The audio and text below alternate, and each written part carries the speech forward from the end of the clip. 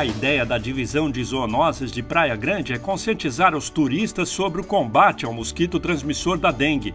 Para isso, diariamente, os agentes de saúde percorrem locais onde há grande circulação de visitantes.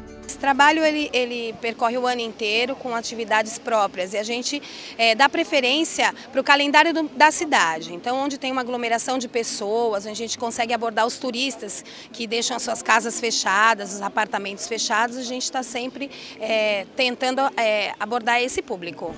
Os funcionários da Secretaria de Saúde distribuem panfletos educativos e conversam com os turistas, tudo para evitar que a epidemia de dengue volte ao município.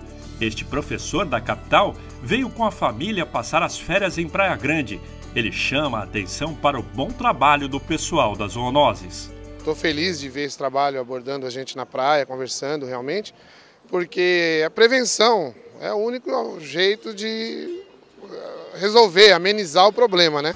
E como nunca é demais reforçar as dicas no combate ao mosquito Aedes aegypti, aí vão algumas delas principal conselho é não deixar a água parada, né? E tomar muito cuidado com os ralos. Então, um ralo que é, ele só recebe água uma vez por semana, esse ralo requer cuidado. Então, telar os ralos, não deixar água no, no pratinho de plantas. O trilho do box também é fundamental para os turistas, quando eles vão embora, é, fechar o vaso sanitário, telar e, e, tampar mesmo os ralos e secar os, os trilhos dos, dos box. Tomar muito cuidado também com garrafas, né? Todos os inservíveis, garrafas, copos copos plásticos que é, ficam é, geralmente expostos por um período de 3 a 4 dias até a sua remoção e esse período ele é propício já para a formação do mosquito. Quanto mais as pessoas Uh, nos ensinam, né, nos, instruem, eu acho que isso é muito importante para a população. Né? É, o ensinamento é tudo. Né?